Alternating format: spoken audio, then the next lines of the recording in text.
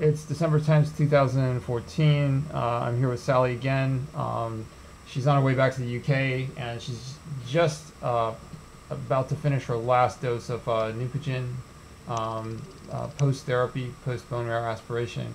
And so we just wanted to summarize all the effects, good, bad, and indifferent, that have happened um, since we started this. So first of all, the tinnitus, the ringing in your ears. How what is the difference be- before and after? Well, I can ignore it now. You can ignore I it. I can ignore it, even though it's present there all the time. Mhm. Um, whereas before I couldn't really ignore it. Okay, and, and you said before it was pulsatile on the left side, Yeah, and it was loud, yeah, and now it's quieter and it's more of a hiss toward the right side. yeah. It's very odd, but okay, that's good. Um, and then I think I guess our, our biggest success is the headache, Yeah, and so the headache is, is is gone except if you do something that would basically give anybody a headache, like staying up too late or something. yeah. Okay. Um, so that so that much is really good. And then your your spatial steadiness, like the world seesawing back and forth when you're walking, what's the level of that?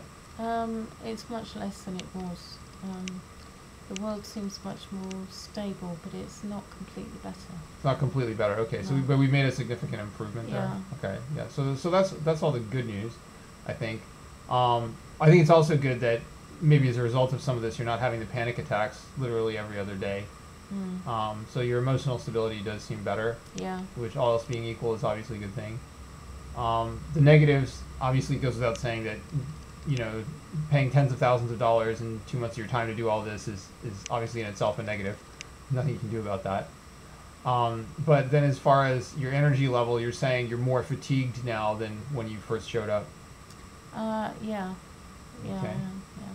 And and we think that's due to bone marrow replication stress. In other words, that you're having to replicate all of these stem cells that you you've stolen out of your bone marrow, and that just takes a lot of resources. And um, that combined with some of the powerful antibiotics you're on um, might be might be contributing to that. There could also be a thyroid role, but I think that's probably secondary.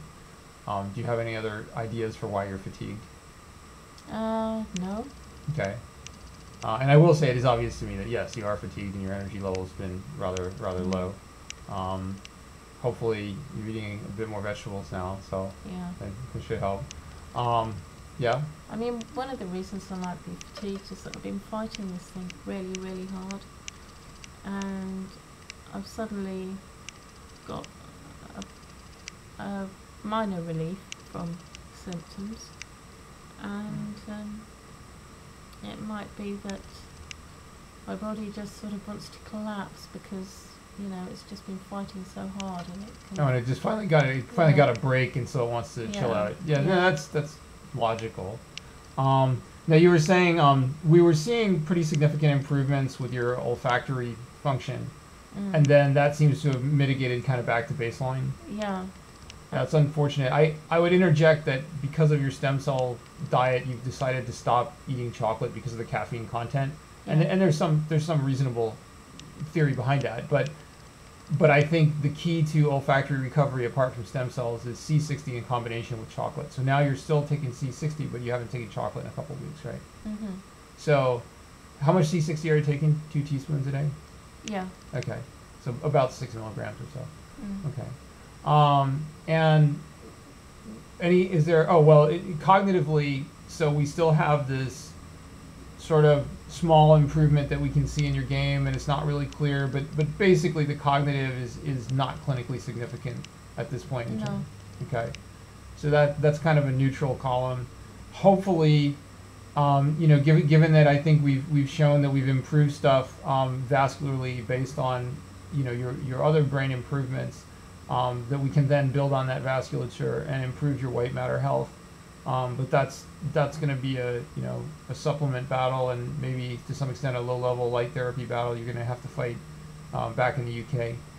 Mm. Um, so we did not retest Lyme, and in I guess a few days or maybe next week when the blood tests come out, I'll share those on the thread so people can see that.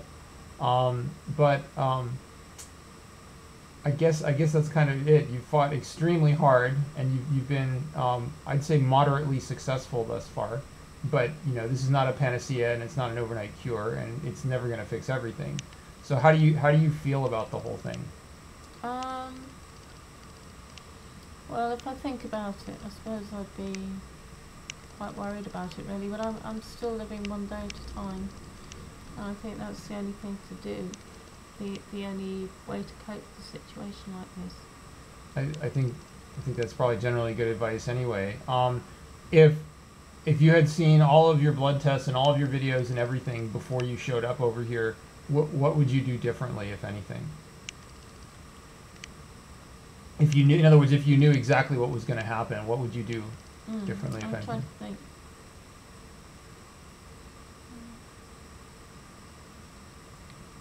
Um, I start to um, correct my diet before the stem cells. Yeah, that's a good thought. Yeah, so that um, I'd be used to a really strict diet and I wouldn't make some of the sort of mistakes that I have been making.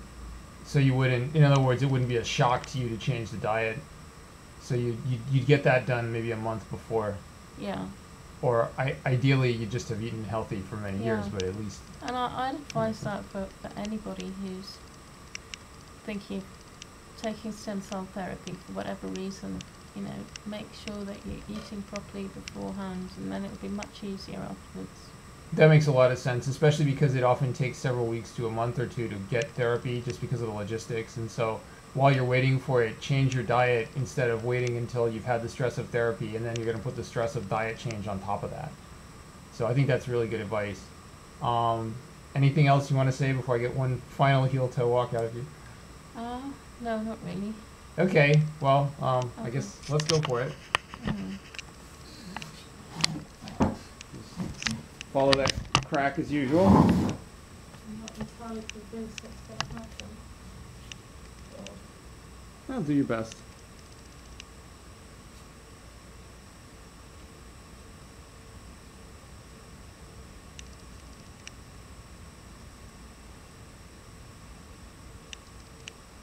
Don't worry about it. Just do what you can.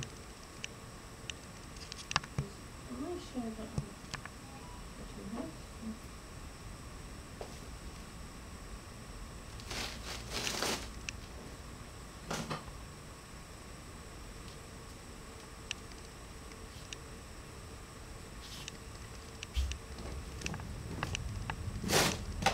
Get it crunched here. Go ahead. That's all right. No, I don't know. it's- showing up getting slightly worse again. I, know, I thought that was pretty good, but No, because before I could make it right the way across. very close.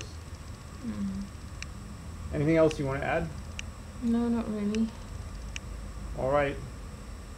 Best of luck back in the UK, and hopefully you'll send some more videos. But uh, we're not sure whether you're going to be able to do that.